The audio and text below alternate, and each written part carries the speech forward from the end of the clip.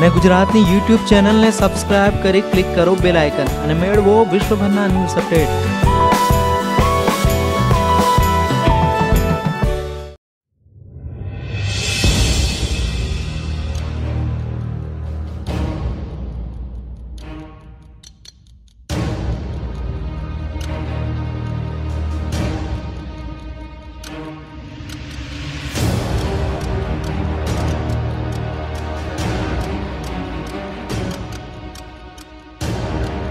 મળતી માહિતી અનુસાર ઉધના વિસ્તારના ભીમનગરમાં દારૂનો ધંધો કરતા નામચીન બુટલેગર કાલુની અજાણ્યા શખ્સોએ કરપીણ હત્યા કરી હતી. ઉધના અને રેલવે પોલીસની હદમાં કાલુ મોટા પાયે દારૂનો વેપલો, તેના વિરુદ્ધ સંખ્યાબદ્ધ ગુનાઓ પણ નોંધાયા છે.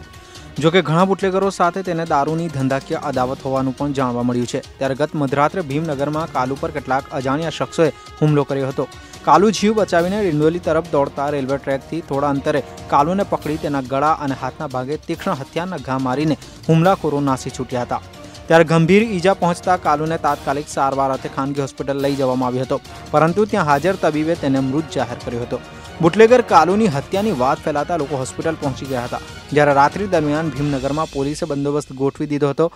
હાલ તો પોલીસ દ્વારા સીસીટીવી ફૂટેજના આધારે વધુ તપાસ કરવામાં આવી રહી છે.